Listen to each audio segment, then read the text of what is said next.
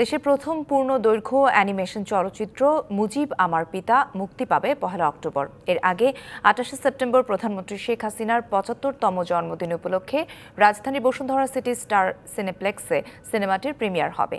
দুপুরে star cineplex আয়োজিত সংবাদ সম্মেলনে কথা জানান তথ্য প্রযুক্তি প্রতিমন্ত্রী জুনায়দ আহমেদ পলক। বলেন, প্রধানমন্ত্রী শেখ হাসিনার লেখা বই শেখ মুজিব আমার পিতা অবলম্বনে তৈরি করা হয়েছে অ্যানিমেশন চলচ্চিত্রটি।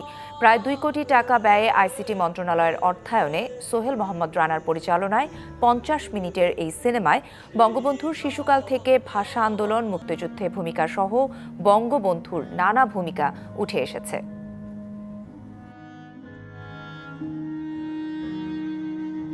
বঙ্গবন্ধুর শৈশব, কৈশোর, তারুণ্য, রাজনৈতিক, ব্যক্তিগত, পারিবারিক জীবনকে আমাদের শিশু কিশোরদের কাছে তুলে ধরা এবং তাদেরকে বঙ্গবন্ধুর আদর্শে অনুপ্রাণিত করা।